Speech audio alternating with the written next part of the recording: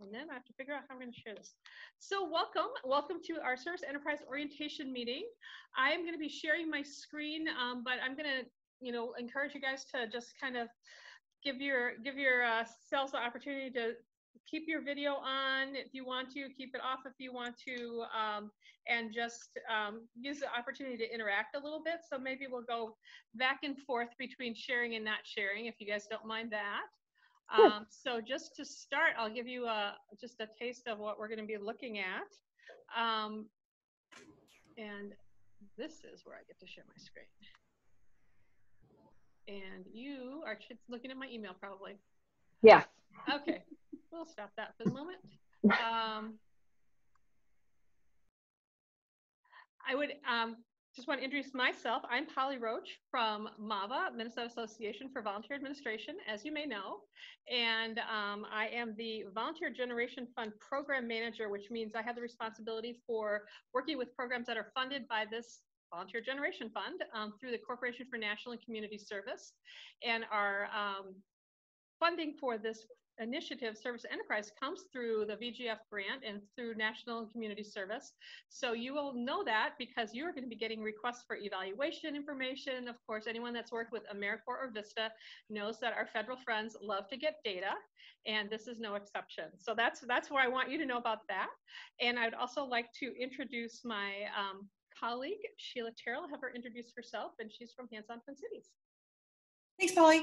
Yeah, I'm a consultant with Hands On, uh, working specifically with the Service Enterprise program.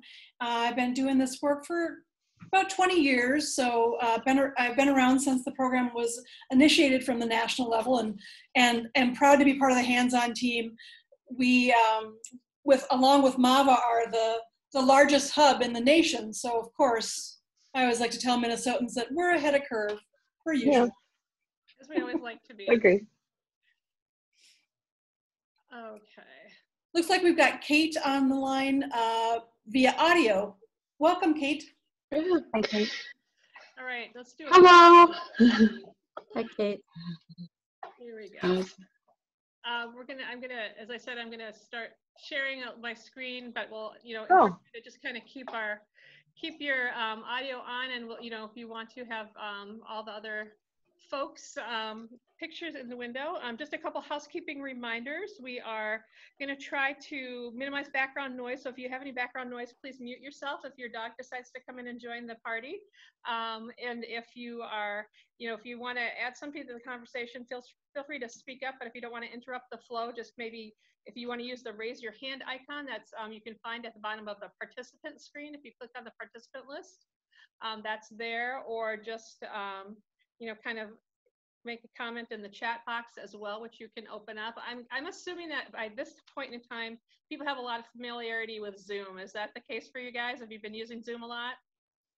Seeing some head nods. Okay, because we're going to be using this as a as our service enterprise platform for the first time. So we are considering this as a pilot, and that's why there may be a couple bumps along the way, but we really value the feedback that we're going to be getting from you. We're going to be asking maybe um, some additional questions um, as, in, as part of our evaluation process because we are learning as we go. So we appreciate you guys learning with us as well.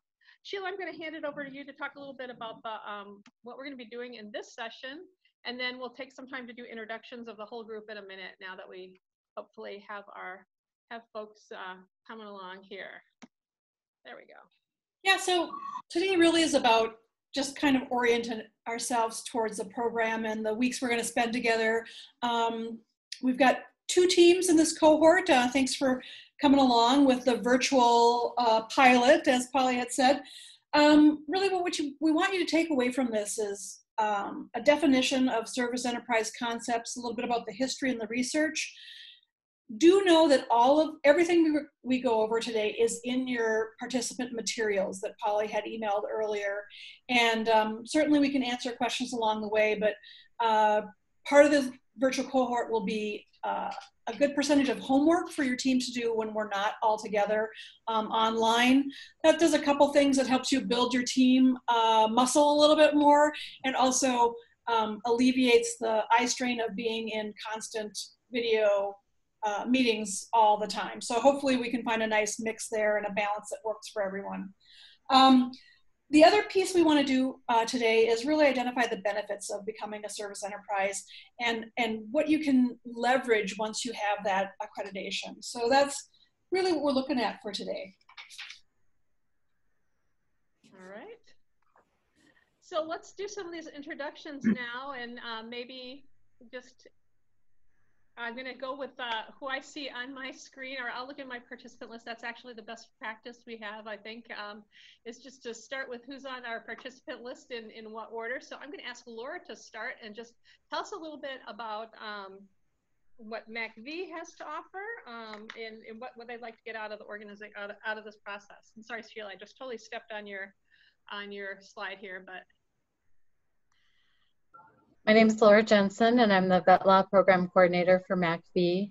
Um, MACV helps, our, our mission is to end veteran homelessness in Minnesota, and we do this by helping with housing, employment, and legal issues. Um, we do have three regions, uh, north in Duluth, south in Mankato, and then the metro, we're in St. Paul. Each region has a housing and employment team but the legal team is just based out of St. Paul and we go statewide. Um, I do manage the, volu- the legal volunteers for um, vet law. We do have um, other opportunities for volunteerism through um, large, like I was saying earlier, larger events, stand down where we um, recruit from different um, corporations and community partners, do some volunteering so I guess we're looking what we're looking for is to um, find out a way, the best way to um, obtain more volunteers as needed, obtain the right kind of volunteers to meet the meet our needs and meet the community's needs, and just a better way of um, maybe tracking it and seeing what the value is in all the all the volunteer um, help that we get. Great, thank you. Well, the next person I see on my list is um, is Anna. So Anna, if you wouldn't mind introducing yourself and your organization a little bit. Yeah, well, I'm um, my name's Anna, and uh, I work at Upworks, Minnesota, and um, I'm the administrative assistant there. And I'm I'm going to be taking on some new tasks, learning some new stuff, and they just thought this would be good for me to attend so I could get some good information because I'm learning still learning stuff. So. And what I heard about you from Nina is that she was grooming you for quite a while to take on the volunteer engagement work and that she feels really confident that you're the right person for this and is really glad that you're part of the team. So I'm passing that on from what I've had conversations with her about. Yeah. Next, I see Lisa. Lisa, if you wouldn't, you know, tell us maybe a little bit more about Upworks as well as yourself. You bet. Uh, so Anna and I work together at Upworks. Um, I'm the executive director. I came on last August, so I'm just about at a year mark. Um, what Upworks does, which I love, is um, we have many different programs, but we come alongside people coming out of crisis, prison addiction, trafficking abuse, and we help them rebuild their lives um, and restore their families. And we have another half of our of our focus is on prevention, you know, largely in Title I schools, where the majority of kids are free and reduced lunch and now, um, during COVID and post race riots, we've actually begun to do food distribution and getting needed supplies out to people in the community and some of the school groups that we were working with before. So we're, we, we tried to pivot real fast to be able to meet the articulated needs of the community. And I'm super, super proud of the team, Anna, and everyone that has just knocked it out of the park. If you had told us in February we'd be doing some of the things we're doing, we'd think, no, that's nowhere in our model, but that is our model. Our model is serving people uh, the community in the way that they are asking for help. We also um, have created our entire program now on a virtual platform, which A, allowed us to provide services during the COVID season, but also now allows us to have participants and life advocates all over the US. So we're, we're real excited about that. Anna is an incredibly important part of our team. She isn't kidding when she said always learning. Every day she's just fire hose with all sorts of things, including being our data bank, um, database uh, brain and oracle of all knowledge at, at Upworks, which is, as all of you know in the in the nonprofit world, is huge because the metrics you get out of your your data bank system is what you how you present to your stakeholders and your donors your impact. So incredibly, incredibly important. managing volunteers and making them feel loved and valued and important and needed is obviously a seminal virtue of Upworks and all of you. So this is a very important class and opportunity and accreditation. Not so much that we wouldn't be doing good work if we didn't have this, but everything we're going to learn in this is just going to make us stronger and better. And so I'm incredibly excited about this and very happy to be here. Great. Any any particular goal that you see coming, uh, you know, that, that really made the decision for you to participate in this right now? Uh, well, we had talked about various programs in this sphere of influence, but always in, I try to help us focus on, you know, the best practice in every in every sphere of influence. And in the volunteer world, I consider what you're offering to be best practice. So it just made sense. I didn't necessarily know what it would look like on the other end. I just knew we would be better and stronger after learning from you and learning with all of the other participants because that's the best way to learn is to talk to other people that have either done it or are going through the journey at the same time. Well, we had um, we had Kate that um, would like to have you introduce yourself, Kate, and then after that we have somebody um, somebody else that, that's connecting, um, and I'm not sure from which organization, but we'll find out when we get to that person. But Kate, go ahead.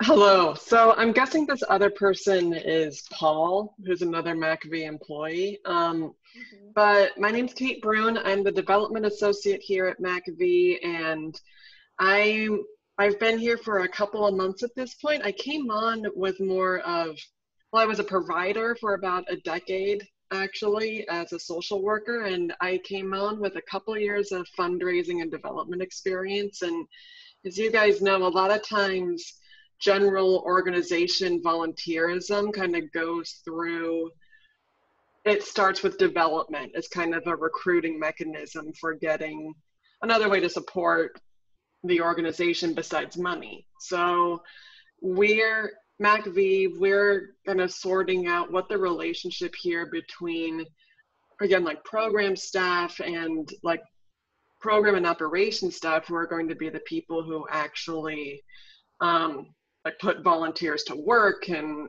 articulate what the responsibilities of a position are, what the needs are for volunteerism in their program and department, and how development, fundraising, and even leadership can kind of funnel the right people to the right funnel the right people into those programs. Vet law, which is Laura's purview, I mean, yeah, Laura's done a fantastic job with managing volunteers and coordinating all of that. She's kind of a legend in our organization for just making things work, you know, but we're just, as everyone here is going to, is saying, like, we're just trying to figure out the new normal.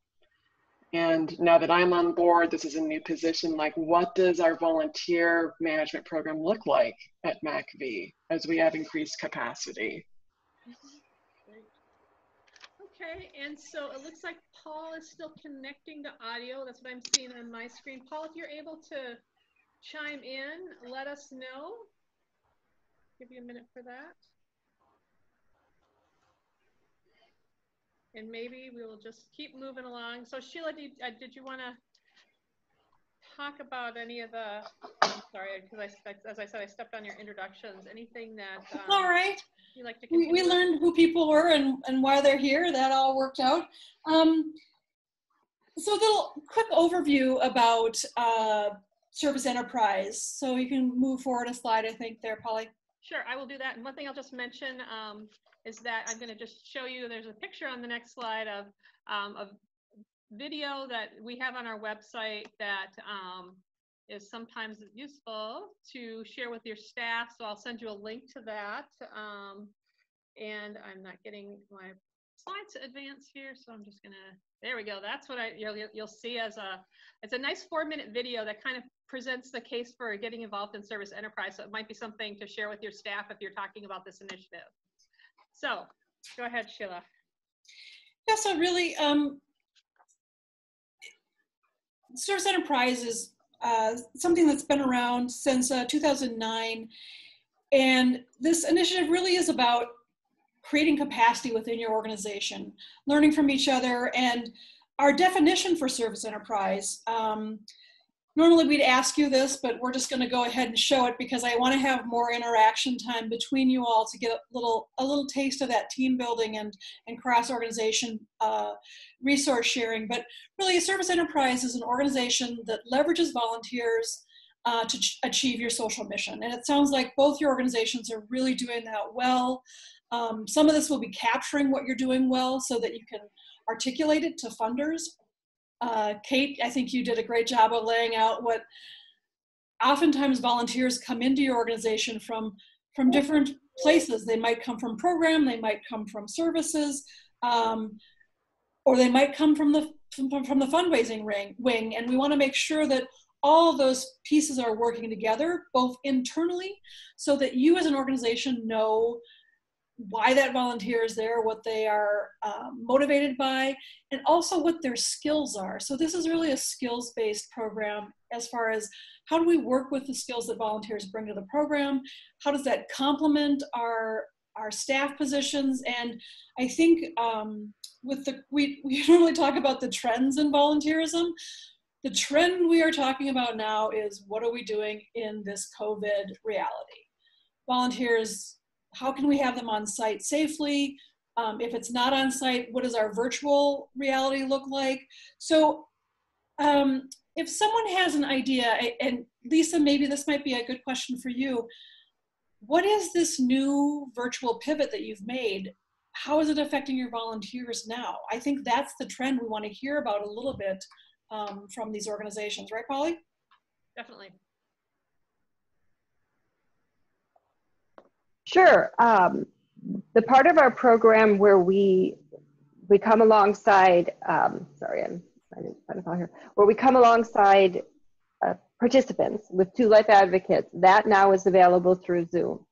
Um, and we haven't been doing it for an incredibly long time to find out if there's any attrition in the program for people that feel like, nope, this won't work face to face. I think actually it will be the opposite because oh. previously um, you know, if you had a set meeting on Thursday, one to two, and one of your life advocates couldn't make it, um, the meeting would be can- canceled. Or if there was bad weather, they either had to drive in bad weather or you know cancel the meeting. And and you know, predictability and regular schedules are really important in these relationships. So that part's a, a definite win. Um, our ability to use volunteers through Zoom, and if it because we're doing it because of COVID, but it was also because of COVID. Now everyone age, you know, nine through 90 knows what Zoom is, right? And a couple right. months ago, it was not a thing and people didn't know what it is. Everybody knows what it is now. Um, and lots of people think it's normal to walk around your house with a dress shirt on and sweats because only this shows, you know. My husband sometimes goes to the kitchen and like, Zoom call? It's like, yep.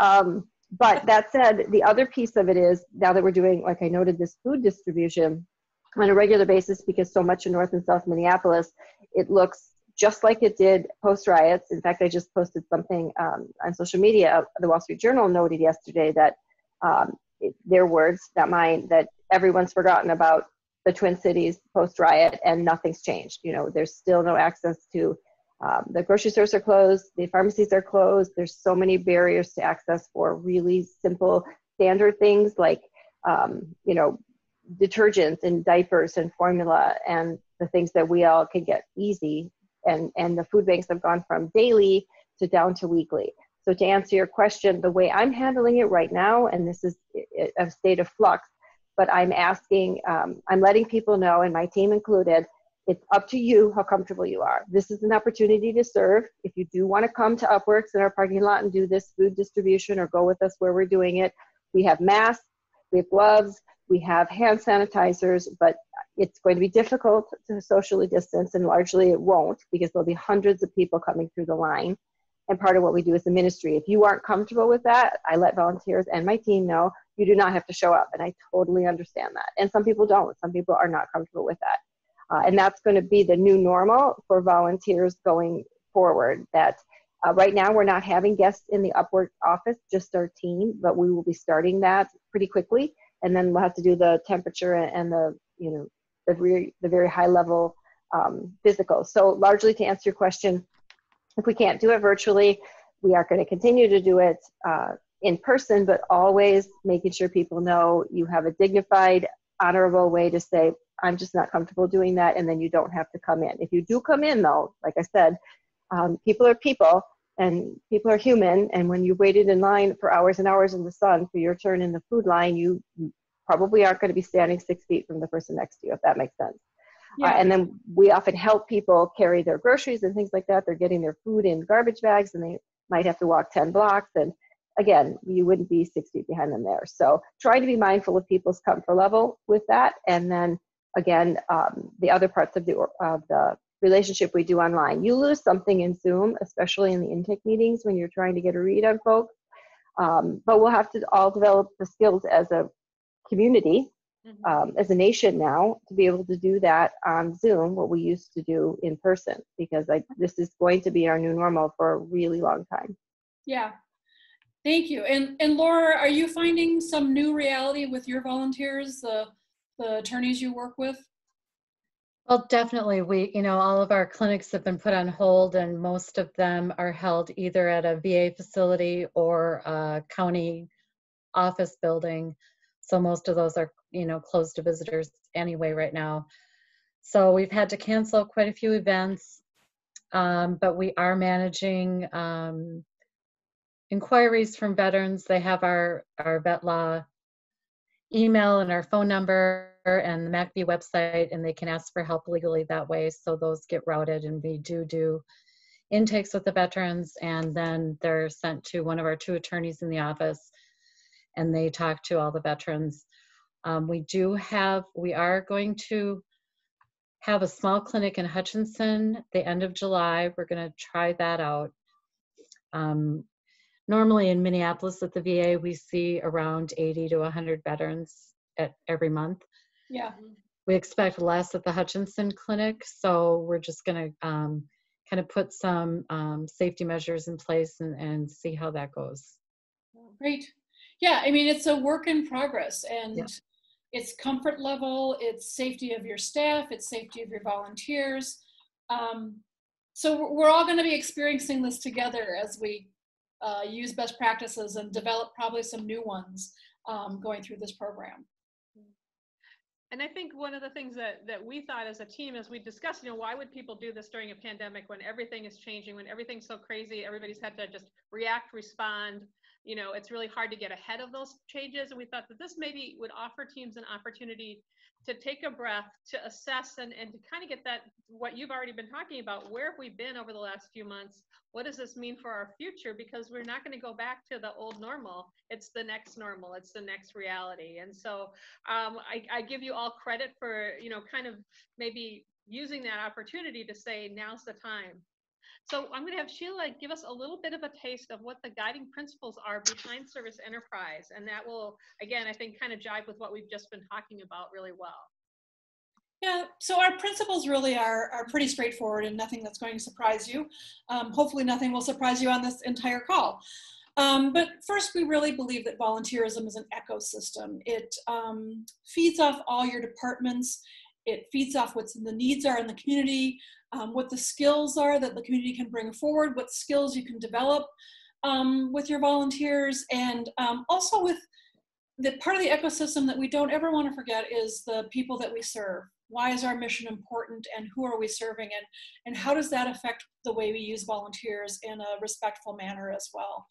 Um, the second principle is really about making it core and the fact that we've got leaders from your team uh, involved in this process is how do we make this part of our culture volunteerism is a big piece of what makes your mission run and uh, we want to make sure that that's embedded in the core of your organization and in the core of the community you serve um, then the the principle uh, number three is this true community needs. So um, I can give you the, the the antithesis example. If if a community is getting volunteers that say, and this is something that we're already seeing after uh, what's happened in the metro area and in some other areas in across the state, but really in the metro area where um, for instance, hands-on's getting calls from corporations that say we want to bring our teams in to do to help with the rebuilding of uh, South Minneapolis where the riots happened. And there's nothing for big groups of volunteers to do right now. the insurance companies are looking at the structures. The the, the small uh, organizations that might have been renting in some of those structures need to reassess how they can do their work, what that leg is. So the true community need is some of the stuff Lisa mentioned. We need food shelves. We need people to have right away what can we do for this community to to keep them whole and to to listen to what their needs are. So one of the principles is that we don't want to just use volunteers because volunteers want to come in and do stuff. We want to really tune into that need and match the skills with the need. The fourth principle is this investment. So all of you have great staff investment in managing your volunteers and recruiting your volunteers and the stewardship of your volunteers. Um, we also see that there's a lot of uh, investment just dollar wise in volunteerism and, and that we're going to show you the return on investment um, throughout the program and you're also going to see that as part of your action plans. What's the true investment that we're making as an organization? So you'll know the dollar amount invested and you'll also know what the return is. And, and what we're finding is that usually the return on investment is uh, between 3 and 6% but we've seen them up into the 10 15% uh, depending on on what your volunteers are doing and i'm seeing something in the chat of course i can't get to it I can fast enough um, Kate has a story to share about matching skills with need, and if you're if you are ready for that, Sheila, I think it might be good to just give us a little real life example of that as you shared it as well. Absolutely. Yeah, well, I mean, we get, we, yeah, there's so many people who are really interested in ending vet, in helping vets, ending homelessness, and a lot of them are, you know, are are working in in industries that are related to housing, but maybe not in a social services way. Like we've one recent story, like we've gotten these really specific requests for from an, an interior designer to come into like one of into a home own into a home to offer her services and expertise for free the vet other people have to pay for the actual like items that she would recommend you know? And then it has to be a woman that she works with you know? And it's like so who can i work with then? It's like uh like it's no like yeah. when we're getting someone out of a domestic violence shelter they're not going to be too worried about feng shui you know like i appreciate like we really appreciate the motivation and everything but this might be the kind of thing where you just need to give us some money if yeah. you need to help you know yeah. well and i think the great example there is that volunteer resource is no different than a grant resource that pulls you off mission. So we've all heard yeah. the story of of you know oh organizations that might chase a grant or chase a funder and say oh yes of course we'll bend our mission to fit your need to give us something that maybe isn't on track with what we've spec'd out in our right. Program and and oftentimes volunteers can have that sway with organizations as well. So part of it mm-hmm. is the tools of having uh, clean job descriptions on what it is a volunteer can do and if providing feng shui is not in one of your volunteer job descriptions that might be for a reason right well yeah and it is like it's i come from the a grants background like that grant yeah pulling you off mission it's yeah it's rampant like you just have to be focused monofocused on what you're trying yeah. to do so you part know? of the the guiding principles um it's it's across all four. This ecosystem we want to work with people and bring their skills but we also want to be mindful of our mission. Making it core it has to be part of what we said we're going to do and that we believe that's what we're doing too. True community need what does the community need? And um, there is a level of needs that go through our community and where where does our mission plug in and also that that golden rule of of where the money goes and what gets focused and how that is in tune with uh, your mission mm-hmm. yeah, so thank you Sheila gave us a little bit about the what of service enterprise, what we're getting you, what we're getting you into. I'm going to give you a little bit about the why, the background, and how this kind of emerged from the nonprofit sector. Um, and as you Sheila referenced, um, the conversation started about 2008, 2009, um, with people in the field taking a look at, you know, the sense that there's chronic underuse in some ways of volunteers and under under um, a lack of understanding about how volunteers can be a strategic resource for organizations.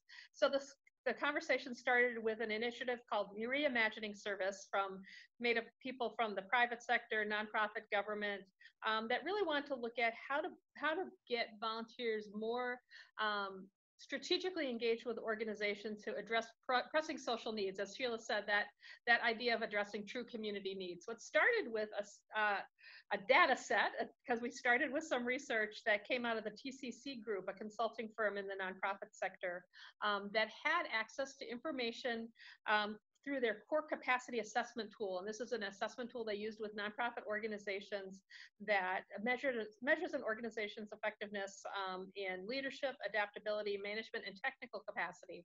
And so they discovered they had this data, data set of about 650 organizations that decided to dig in to find out what do these organizations know about volunteer engagement. And what you see on the screen is the result of that. So these 650 plus organizations that again um, were I think folks that are responding to surveys like this are probably going to be in the stronger, at least the upper echelon of the sector that are willing to take a look at themselves and see what they're doing well, what they're doing not so well. Um, and even in these organizations that were, you know, doing really fairly well across the board, um, about 18% of them said they were weak in volunteer engagement.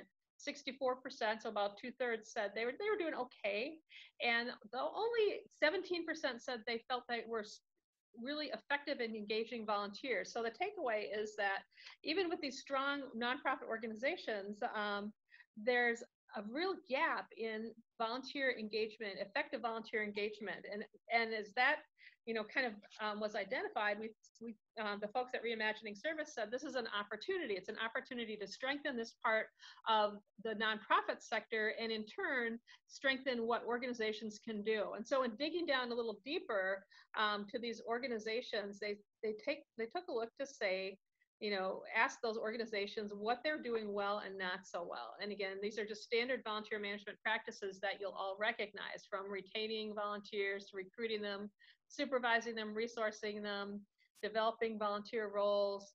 Um, and so the results that you see on the screen would tell you that only, um, even again with these organizations, the highest um, highest grade they gave themselves was 30% stating that they were effective at valuing and appreciating volunteers. So with all of these, all these areas in volunteer engagement, anywhere from 30% down to 6% um, would say they were effective, which means leads a lot of room for growth. And some of the areas that organizations said they needed the most, or they felt they were doing um, doing least effectively, would be balancing skilled and unskilled volunteers, um, resourcing volunteers, giving them the resources they need to get the work done, and clarifying roles for volunteers. So you're going to see themes from this survey come up as we approach the materials in um, the service enterprise curriculum because these are some of the some of the themes that really will resonate a lot as we as we move forward. Um, the question, you know, when we look at those these standard volunteer management practices is what's going to be the the practice that really helps organizations move the organizational needle forward? What is what are the things that are most critical? So we'd certainly take a look at those ones that organizations feel they're not doing effectively, but we're also we also want to take a look at how we can increase capacity across the board with everything and some of the things that you've already talked about today, recruiting volunteers, making sure that volunteers are in the right role, that they're doing the right thing for the organization, that they have the resources that they need to get the job done. Um, so let's take a look a little bit more at some of the, the findings um, with our um, positive outliers. And this is the this is the organizations that were doing things effectively. And I'm going to have Sheila take a look at that for you.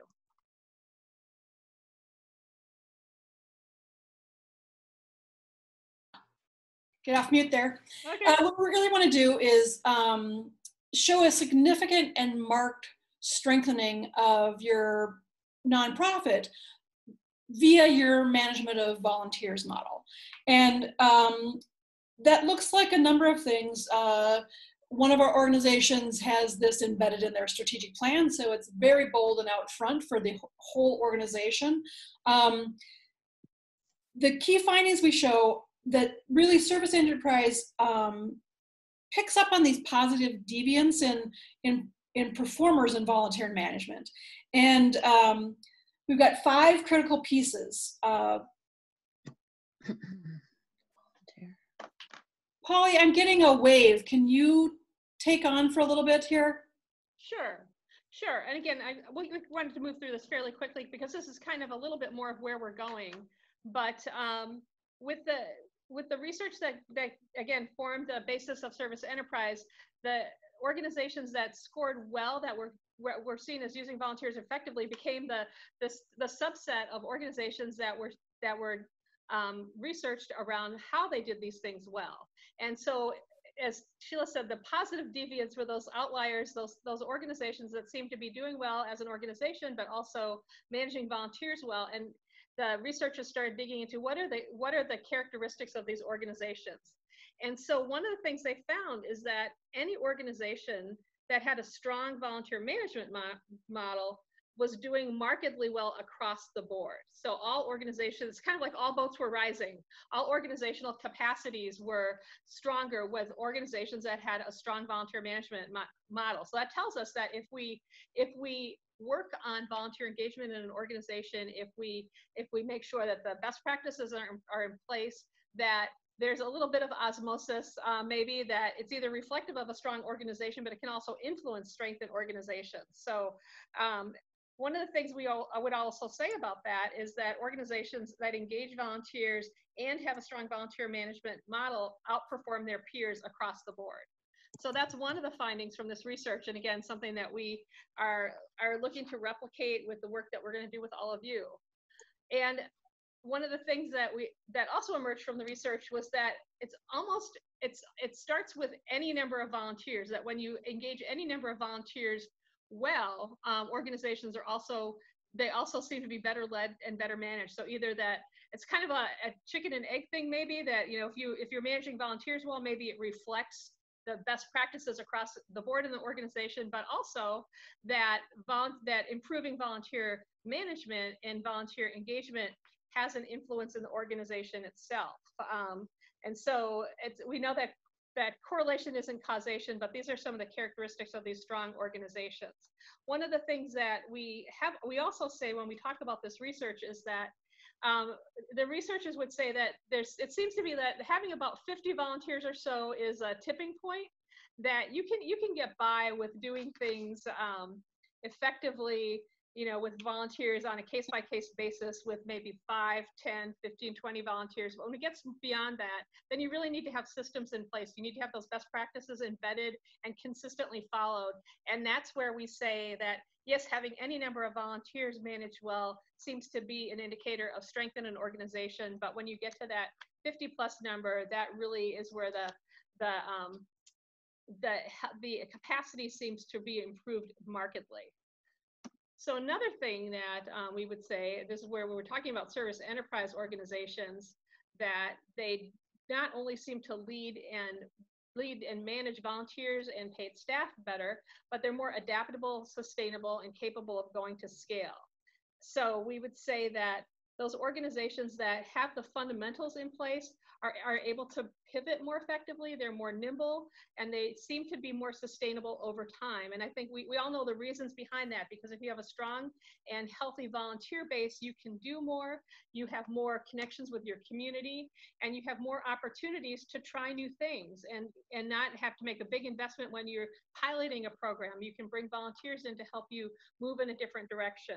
Um, and this, this is where that 50 plus number seems to come in, um, that nonprofits that have 50 or more volunteers seem to be able to do this well. But I, I also, also like to call out the fact that for, that's sort of a, it's relative to your organization as a whole. If you have a small organization, 50 plus volunteers might be unmanageable for you, but a, a good, strong 10 to 15 to 20 volunteers may be the, the right size for your organization. So I don't like to get hung up on that number, but the um, organizations that have a number of volunteers that's significant relative to their size in general, in order to manage them effectively, have to have systems in place that, again, seem to be used, used across the organization and improve the health of the organization across the board.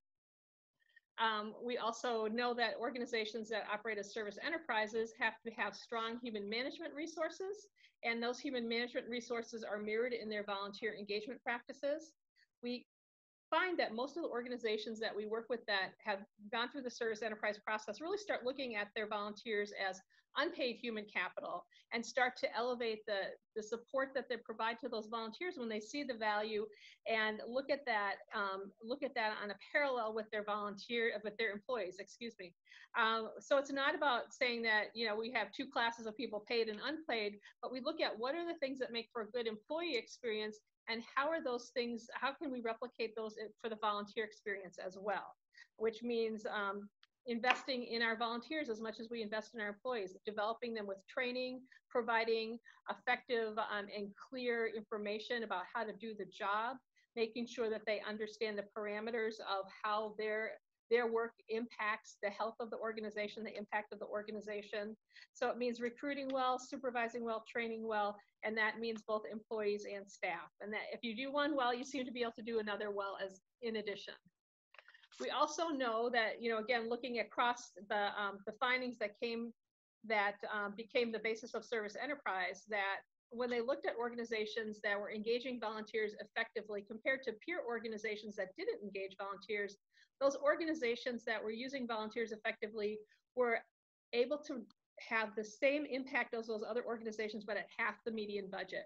So that's a bottom line um, finding that maybe boards like to hear, organizations that um, have good, strong communication um, between their um, between their program management and their financial management, um, their development folks, is that um, there's there is a bottom line takeaway for having strong volunteer engagement, and that's that you can do more um, with that with those volunteers. And again, go back to that the stories that we were telling. It doesn't happen in organizations that are um, not engaging volunteers in meeting true community needs, not engaging volunteers that in ways that really impact the mission of the organization, because that can, as, as Sheila was saying, and as Kate was saying, if you if you try to um, chase volunteers the way you chase grants, that just depletes your your staff capacity to do the work that you need to do.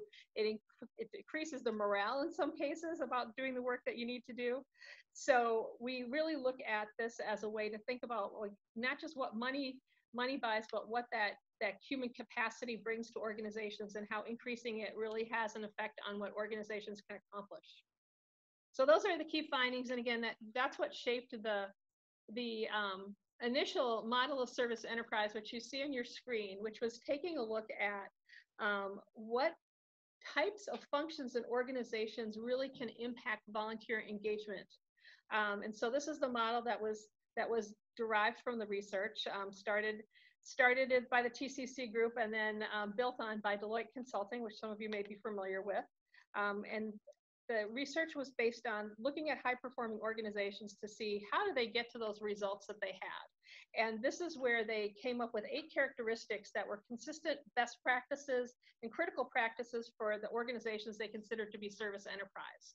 Um, and so I'm going to skip ahead to the next iteration of this because this was the this is where they started and here's where we are today we consider these characteristics of um, organizations that are service enterprise, and then we shape our service enterprise curriculum, consulting, and coaching around helping you achieve um, the best capacity possible in each of these areas. So I'm just going to do a quick review of those because you're going to see these again and again. Um, we know that organizations that are successful need to have strong planning and development functions. And as this relates to volunteerism, it means having a strategy and infrastructure for mission-driven volunteer engagement.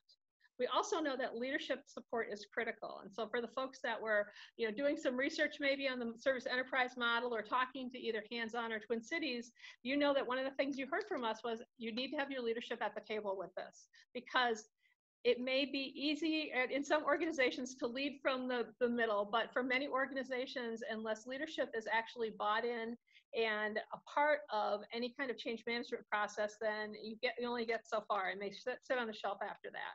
So with leadership support, we want to see demonstrated um, executive level commitment to volunteer engagement, leadership level commitment. So that might mean executive directors, boards, um, board members, um, even some key partners or stakeholders. We also know that resource allocation is another critical piece. And when we talk about resources, we're talking not just about money, it's there, but we also talk about committing um, significant um, human resources, um, tools, time, supplies to making volunteer engagement as effective as possible. We can't just bring volunteers in and turn them loose without the tools that they need to do the job, but also without the support and ongoing um, human capital from staff as well. Tracking and evaluation is another critical piece uh, because we know that we have to figure out what we're doing and see where we're, where it's leading us in order to understand the contributions that volunteers are making and to also to understand the, the quality of the volunteer experience. Volunteers that don't have a good experience with you will not stick around. Volunteers vote with their feet, as we all know. And so tracking and evaluation becomes a way to look at how it is that um, we can under, better understand what volunteers are contributing to organizations and what the experience is like for them. Um, outreach is where, where we really see the um, volunteer engagement, um, volunteer recruitment functions living, making sure that the outreach that we do is relevant to the organization, that we're bringing in the communities and the, the folks that we want to support our work. And so it means that we're trying to make sure that we're doing a really good job of being um, ambassadors to the community about what we have and why people would want to get involved and having great messaging and communications around that. And on the bottom, maybe this is covered up for you. You see the little money bag because funding is part of the picture. we know that, that we need to have effective funding in place to retain and support volunteers. And so it can't be something where we buy into this myth that, that volunteers are free because the infrastructure to, to support volunteers sure isn't. We all know that. Um, and so part of being a service enterprise means having an effective plan for how you're going to support volunteer engagement with money as well as with all the other things that make up that support. Effective training is another critical piece. And when we talk about training, we're not talking just about training volunteers, but we're also talking about training staff on their roles and equipping them to support volunteers as well as equipping volunteers to do the work that we want them to do. Onboarding and supervision is the next step in that, making sure that as volunteers come into an organization, there's a process to understand their skills, understand what they bring and can contribute, also to understand the ways to match them to appropriate positions, clarify the expectations we have for them, and provide ongoing support, training, um, and, and understanding of their impact throughout their time with us. And that's part, part of where technology and communications comes in, because we certainly know, as we are all experiencing, that technology is more and more important these days to um, support volunteers. In some ways, we're engaging volunteers virtually, so having the right tools in place, having um, having up-to-date tools that volunteers can actually utilize is important, but also making sure that as an organization, we are we are putting um, the tools in place that we need to do our job and to make sure that volunteers can can have access to those tools. Communication is also important because we want to make sure that we're using um, using as many communication tools that are effective to invite volunteers to the table with us and to articulate their contributions and support not only within the organization but outside the organization. And that helps with our next piece, that's our next important piece, which is partnering to extend reach, which is making sure that we have relationships in the community that, that can benefit not only our organization, but benefit our volunteers. It might mean partners that can bring resources to our, help our volunteers do their job better, like trainers. It might be um, organizations that we can partner with because we have a similar mission and that we may be able to combine resources like volunteers to deliver on that mission to the community. So it's anything that we do as an organization to extend our engagement and our reach and better serve um, our communities and better meet our missions. So those, those 10 characteristics are the backbone of the Service Enterprise Initiative um, as it stands today, which is why we kind of did a little deeper dive into the research in the background. As we go through this, you'll better understand how this is good, how your organization is going to interact with this because you'll go through a diagnostic process to help take a look at where your organization stands with each, with each of these 10 characteristics. Three of them we see as really fundamental. Um, planning and development, leadership support, and effective training. We talked about what those characteristics are so you can understand their importance, but we know that in terms of service enterprise, we're not going to be able to proceed um, without having a good solid plan in place. So a lot of our work in our training will be around planning. Um, without leadership support at the table and without effective training moving forward um, to build on anything that we want volunteers to do in our organizations and, and anything that we want to have staff do to help support those volunteers and be part of the process of supervising and setting expectations for volunteers. with that, I'm going to just stop and see if there are questions that you have about this or any any thoughts as we uh, move into the next phase here.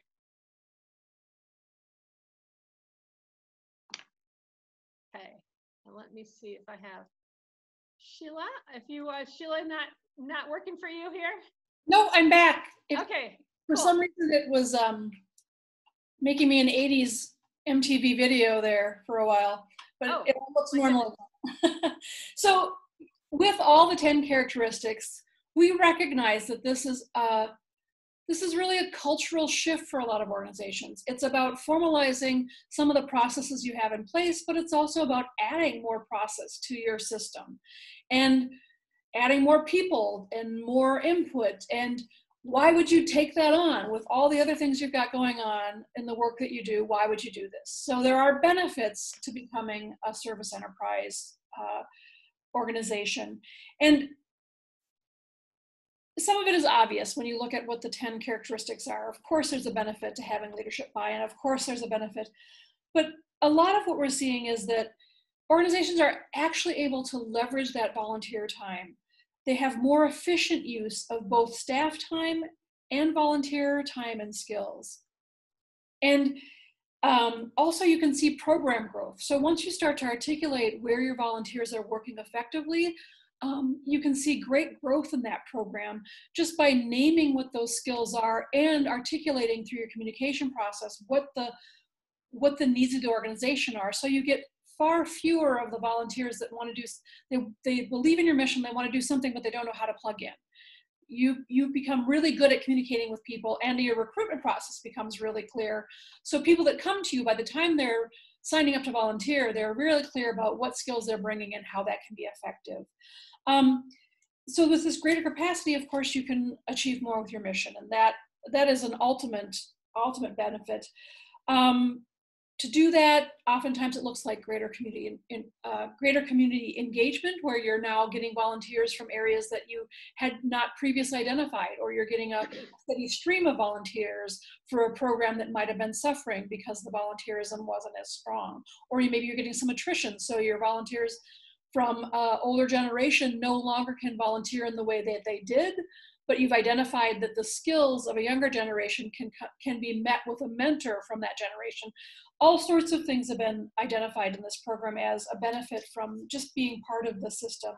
Um, the one that is near and dear to me and kate you probably will love this one too is that when you have more effective volunteers and they're happy with how they're engaging with your organization, they're going to give you more cash. So we've found that if you have happy volunteers, you also have happy donors in that equation, and and that is always a win-win in my book.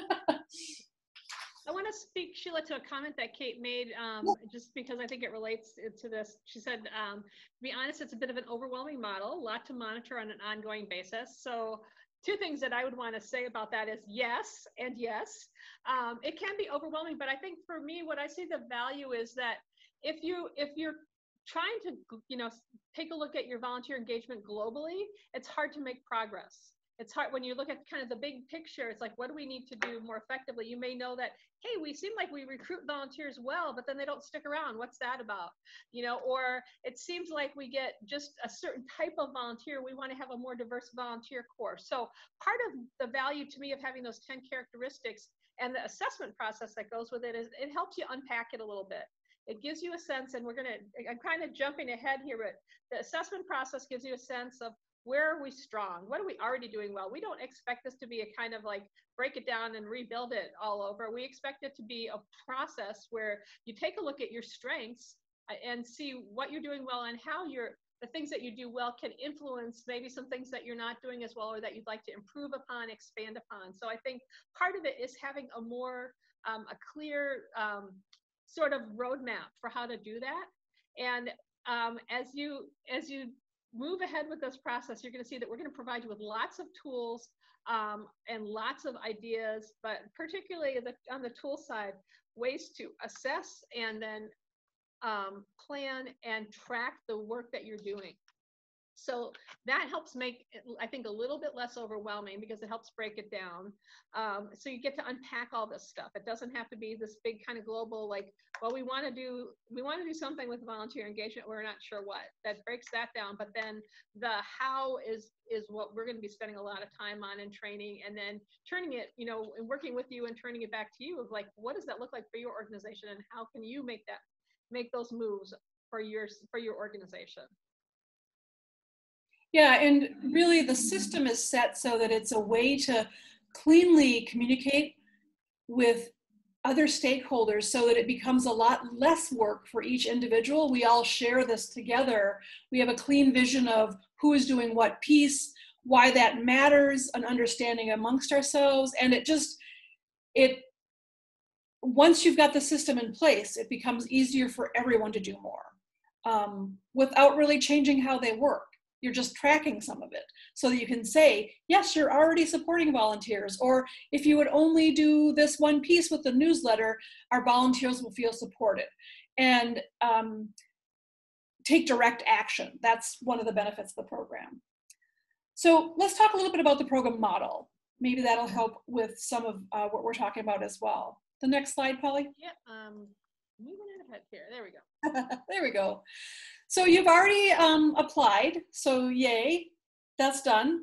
Um, orientation is happening uh, right now, so we're going to do a little bit with you, and then hopefully you'll go back to your teams and and share with them, uh, if you haven't already, a little bit about what to expect with the sessions ahead. Uh, the diagnostic is really about uh, learning where your organization is in this point of time but also learning what the perception of where your organization is. That's why we invited you to have multiple people from different areas take the diagnostic, because sometimes it's just through lack of awareness that people don't think things are getting done with your volunteer program. And the more, like I said, the more you can share that these things are happening and this is how it's happening, um, the, the better results you're going to get because people are going to feel more engaged and they're going to feel more confident that if someone they met at a program site say says we'd like to volunteer. How we do that? You have a very clear understanding of where that person needs to go to take the next step. Or if you volunteer that says i'm not really happy with how my volunteers are going or they just leave and you don't know why some tools to bring them back in or redirect their skills and efforts. Um, the pre-training meeting um, will happen with your coaches correct polly? Yes and we've got two coaches. Polly is one, and Carmeet from from MAVA is another coach. So um, that's about a two-hour investment with your team. Um, we've also got training and coaching, and this is a, a five to ten hours of coaching that is really catered and sp- specifically tooled to your your needs within your organization. So you might be way ahead in volunteer recruitment but you might need uh, coaching for how to bring that recruitment into a sustainable stewardship model. So we recruit a lot of volunteers, but they come once and we never see them again. Kind of uh, might be one of the examples. Um, as this is happening, you're all working towards your action plan. And what happens is your action plan becomes this tool that you can all reference. It's like a part of your strategic plan, or it might be uh, parallel to your strategic plan, where you say, we communicate via our emails, we communicate via our newsletters, we communicate via other PR opportunities, and we're tracking that. We know how many people we talk to, and we know what the result is. That if we put a recruitment out there in our newsletter, we know we get 10 volunteers that show up, that kind of thing. What this overall action plan does is we submit that then to Points of Light to review and um, they give you your accreditation. So then you become a certified uh, service enterprise organization. And of course, this that takes about three hours to, to review the, the action plan. Then, of course, it just wraps back in and you become a continuously improving organization to ensure your compliance. Did I miss anything on that, Polly? No, I think that's good. That's kind good. of a quick. You know, the training that we refer to here, that 16 hours of training is what we're going to be moving into as, you know, as we Yes. as we get into this um, this summer. And it's going to be a little different because we're doing this as a virtual model, but I'll, we'll get into that in just a moment. I just want to make note that that 16 hours of training is going to look a little different than it typically does because it's typically delivered in four four-hour sessions. Right, right. Thanks. And so I'm going to just take the next, you know, kind of cover a couple of the next steps here, if I can get that to go, um, by talking about the Service Enterprise Diagnostic. Now, one thing I want to note is MACV is already done with this step because of course you guys were geared up to do our spring cohort that was going to be an in-person cohort that's got canceled. We have been planning to do this online cohort for a while. We just got to adapt it and move it to this this point in time. So um, MACV folks have already done this process with Carmeet, um, gone through the diagnostic and the review meeting. So I'm just going to say a couple things and I'll follow up with Upworks because I'm going to be your, your coach for that. But the Service Enterprise Diagnostic is really where we take those 10 characteristics and all the information that you know has been learned to date about service enterprise organizations. And have your or have folks in your organization do an assessment based on um, how that looks for them. And so it's something that we complete online. You can have up to 25 people participate in the diagnostic, but the, the key things for us as we want you to consider who would do the diagnostic is we want to represent all parts of the organization. So not just folks that are involved in working with volunteers, but the key functions in your organization, your HR folks, um, development, um, program leaders um, that may use volunteers and those that may not use volunteers.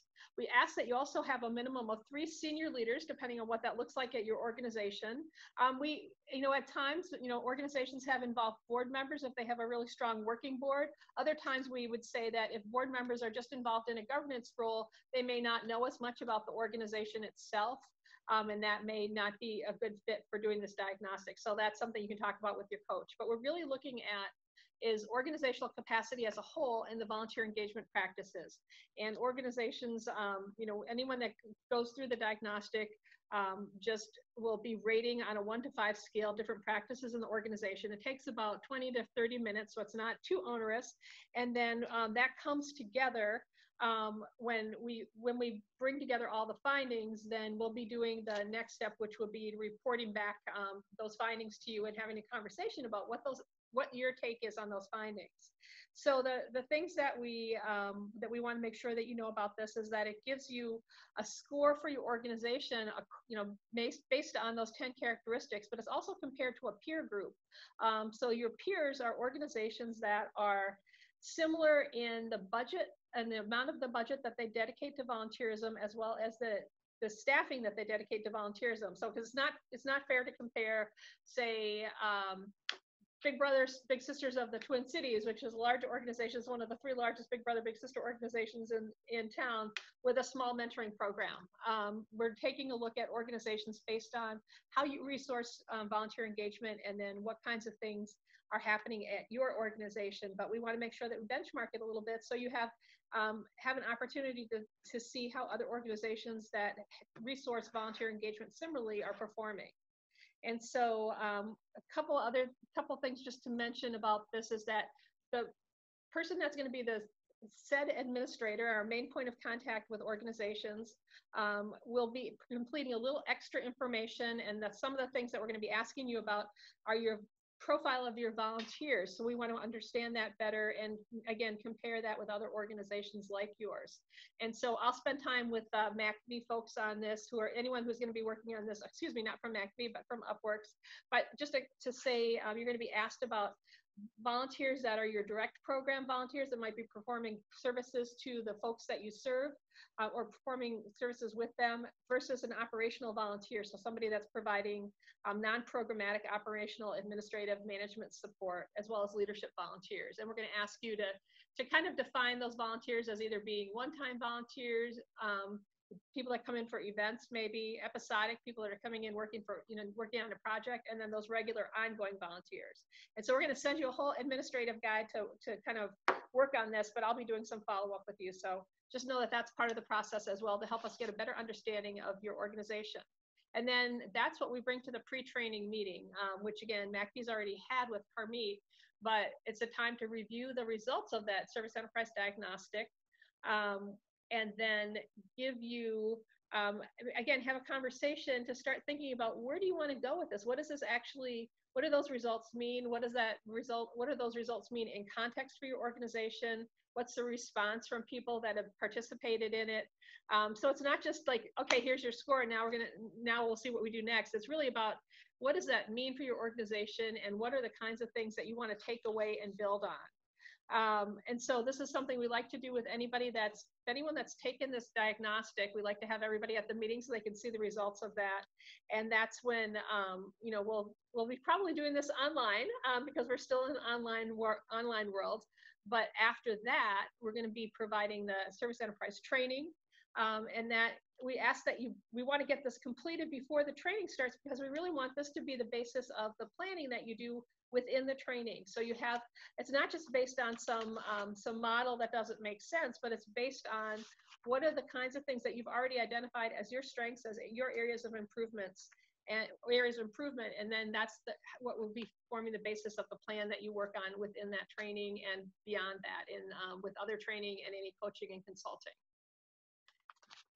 So this is the outlay of the training. Um, these are the kinds of things that we're going to be talking about within our six sessions. And this is something that um, you you got the packet from me. This this training model may look different from what's in your packet since we adapted that those four session, four hour sessions to an online um, an online version that's going to be broken up into six different sessions. You've already gotten the schedule, so you know they're two hour sessions, and we feel like we're probably going to be covering um, all this material um, in in those two hour sessions but th those two hour sessions also will include sometimes you just get everybody you know sitting down getting getting people involved in the training um, and doing some breakout time for your organization um, during that two hours.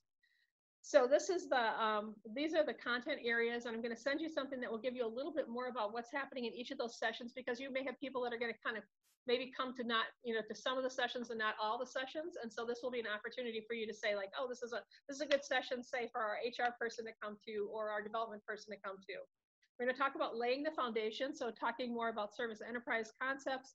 What are the things that we need to, that we're going to be taking a look at? What's going on at your organization? What your vision, vision is for volunteer engagement? We'll be um, in the next session. We'll be talking about building internal support for and change management. Um, the next session after that will be building external support. We're also going to be talking about creating sustainability um, for the process so that this isn't a one and done process, but it becomes part of what Sheila referred to, that continuous improvement process. We're going to be also talking about getting ready for success, how it is that you communicate what you're doing, what it is that you want to share with your stakeholders, how you um, how you re-gear and um, communicate about the, the re-gearing that you're doing around volunteer engagement. And then we're also going to be using that last session of moving to success as an opportunity for you to um, create a presentation around what you've been doing for your key stakeholders. It might be staff, it might be board, it might be your volunteers. So part of the process is helping you not only plan for the future, but also communicate about what your plan is.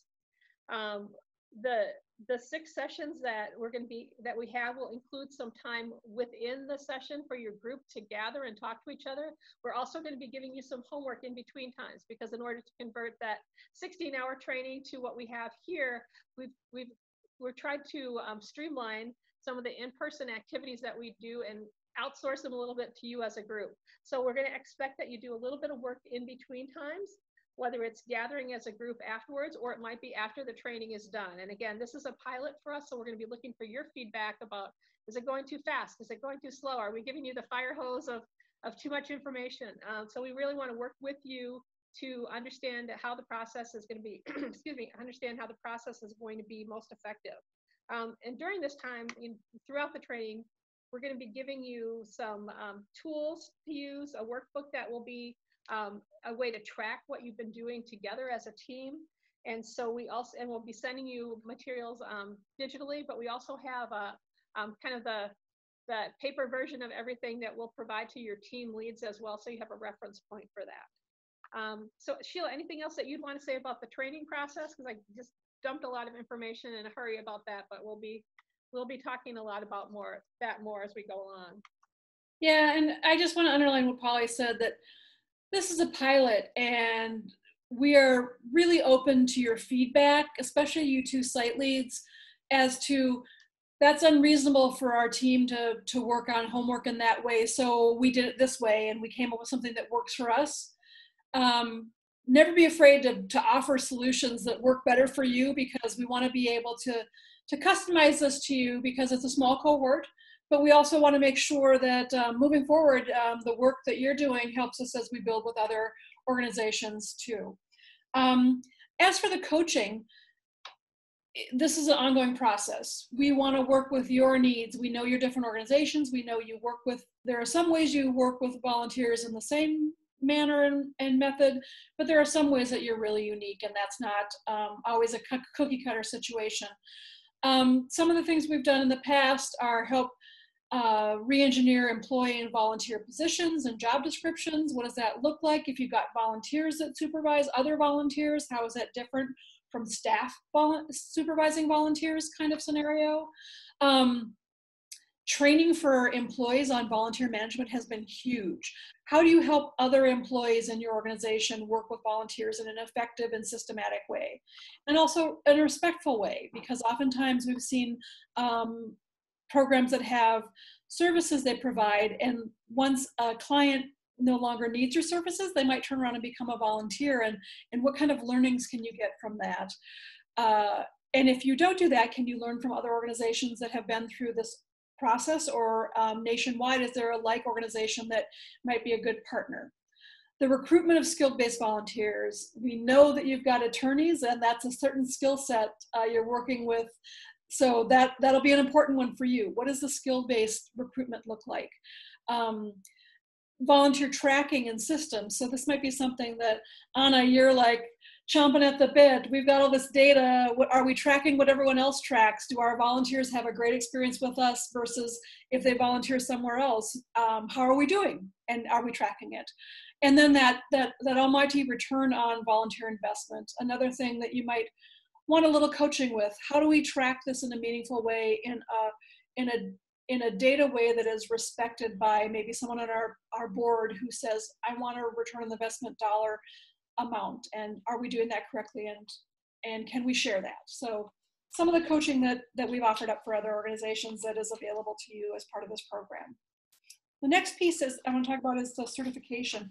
And Sheila, I would say maybe we should skip ahead with this because this is really it's something we're going to cover during training. It's really just talks about the characteristics again and and you know the process that we're going to use to assess that. That might be something that we want to we don't need to talk about right now.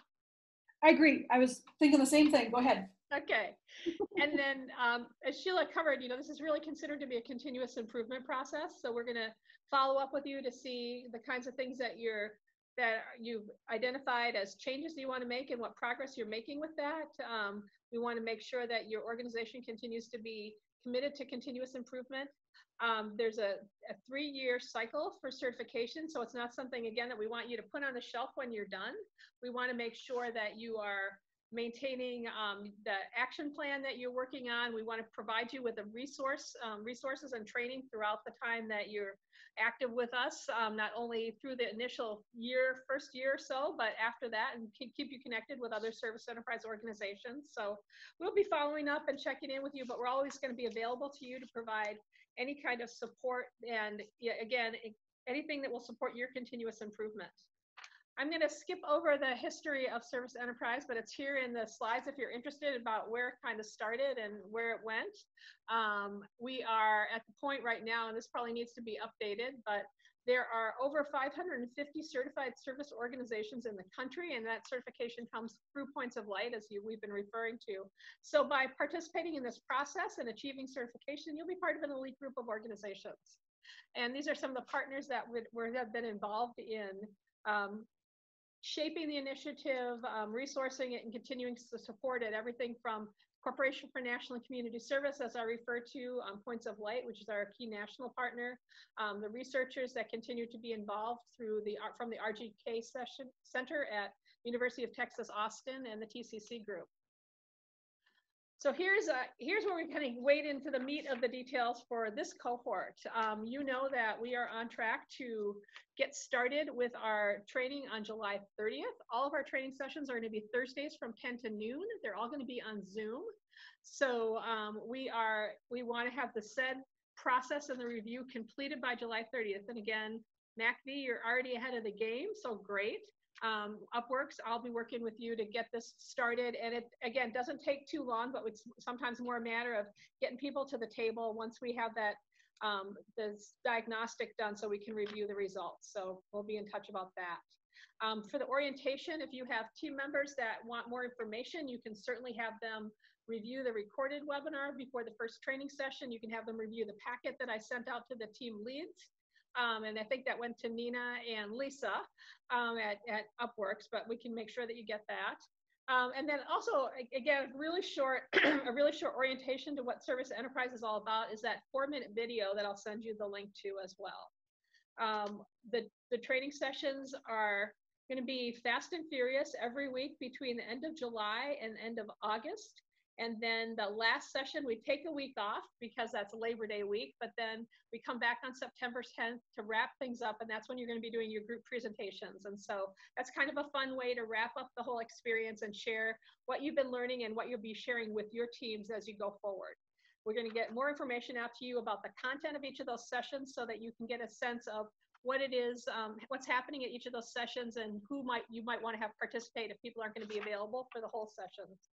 Um, this is where we talk about, you know, a little bit more about our expectations for doing this virtually. Um, as I said, we've been planning to do a virtual cohort for some time, so we had a lot of a lot of skin in this game, and then um, we didn't plan to do it at this time because we were had our our live um, cohort that was ready to go this spring. That was that MACV was part of, and so we are in many ways shifting a little bit about our expectations. So that's where, as when Sheila says this is a pilot, um, part of it is that we are even um, we are learning some things on the fly about how we want to do this this process. Initially, we had expected that we would be able to do this virtual process with having teams gathering in one place. So everybody's sitting down in a conference room and then being connected um, with a couple other organizations that were doing this work together. And I think even that expectation shifted. I don't think that we're going to be sitting in conference rooms anytime soon, but we are going to be adapting this process for um, having people participate remotely from individual locations and that's a little different than what we expected so that's why we're going to be uh, we're a little bit in the experimental stage about that um, what the what we need to have in place to make this happen virtually is we need to know that everybody that participates has access to high-speed internet um, so that they can they can use the Zoom Zoom platform effectively. Um, I would also say that a lot of the um, our, a lot of our initial planning around this was looking at greater Minnesota and some of the challenges that folks experience in greater Minnesota around broadband um, and digital access. We know that that not the case for folks in the Twin Cities, not in the same way anyway, but we do want you to alert us if you have anybody that, you know, may not be able to participate, um, you know, in terms of having that access to high-speed internet or the tools or the technology that you're using. We're using the Zoom platform so that we can see each other. Um, we are going to be using some of the features of Zoom like breakout groups so that you can move um, into a breakout room with people from your same organization so you get a chance to talk to each other. And so we're going to be, again, experimenting with that a little bit. Um, that's how that team-based training is going to be able to work. And we so we want to make sure that you can make arrangements not only to gather online for those training sessions, but also to complete work together that you might be starting in that training session. Um, other things that we know are important for any of our service enterprise trainings are that we have participation by leadership staff on a consistent basis, um, that we have some consistent engagement. So we have a, um, excuse me, we have at least three people that attend all six training sessions so that if there are people that have to dip in and out, there's somebody that can get them up to speed, somebody that can serve as the lead um, convener and communicator. We know that there's going to be time for additional work between sessions. How you organize that's up to you. And that's where, as Sheila said, we really will need your feedback if like the pace isn't going to work or you just are not able to get together between sessions. We're going to give you a couple homework assignments. We don't think that those are going to be onerous, but it's really so that we can keep the training moving forward. Um, whereas in our, you know, when we did four hour training sessions, we'd have the luxury of doing a breakout or a different type of conversation with the group as a whole. We want to continue to have those interactive, interactive aspects in place. So that's where we are really going to be look, looking for your feedback about what works and what doesn't work.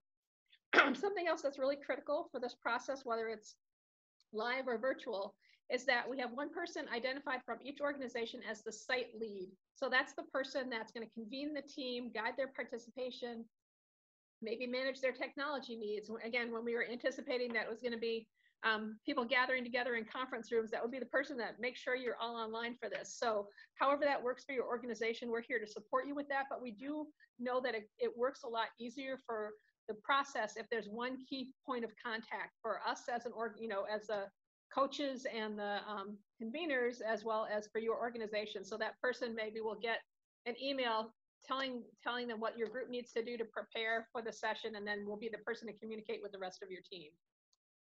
So that's one part. And again, that site lead role is, is pretty critical. So this is what we expect of those site leads to serve as the main point of communication and distribution for, um, we said printing materials. Obviously, that's not going to be the case if, um, if people are still individually, you know, participating from their own homes, but we're going to be sending materials digitally. Um, and so we have that to, um, make, to make sure that you get out to everybody on your team if there's any supplies that might be needed, um, again, not necessarily for this iteration, but if you need to have some time offline to do some work together, that may be important. Um, managing the tech setup for everybody or finding somebody within your organization that can be your tech guru if you need it. I, again, we feel like everybody's had a lot of experience on Zoom, but if there's anyone on your staff that you feel like needs some extra help or support, making sure that they understand um, what the expectations are around technology and having some help with that would be appreciated. And again, that's something the site lead can coordinate. We also want to make sure that people that miss sessions are, you know, are, have a sense of what's going on. So that site lead is a person that's going to connect with them to ensure continuity. It's going to help complete the homework for each session. And we're really looking at the site leads as being that point of contact for us about providing feedback to the training team and doing the final evaluation with us about the process pieces, not just the content, but how did this work for your group? Excuse me. Um, we'll be sending some of this out just so you, as a reminder, so you don't have to get it all today. But our expectation for those two-hour sessions is that everything um, is ready to go by 10:15. But we use that first 15 minutes to get everybody set up and online. So we have that so that as you plan it in calendars, you know that 10 to noon time is as much time as we're gonna, we're gonna expect from you within the training sessions. We're gonna be asking that the site lead ensures that everybody is gathered and ready for that 10, 15 start, but we have that bumper time to make sure that everybody, you know, has their tech questions answered if they can't get on or things like that, we'll have that fixed. We may need to have some have your group take different roles within this training. So there might be somebody that's a note taker or somebody to report out um, we're going to be using the chat for questions, not only about um, the session as a whole, but when we have, you know, we have um, questions for your group to talk about. So somebody that can respond in chat will be um, important. So having having somebody that's a good typist on your team, um, having somebody that can be a timekeeper, will be providing reminders and things like that. But we want to make sure that that you're ready to to share those roles or have those roles assigned, and that we don't have to negotiate that every time. We are asking that people use their computer audio and microphone if possible. Um, with the call-in line as a backup, and you know, with Zoom, you can just easily connect um, through your phone. But if there's any problems that you see people having, either with um, using video or audio, um, let's talk about that beforehand. Get that resolved beforehand.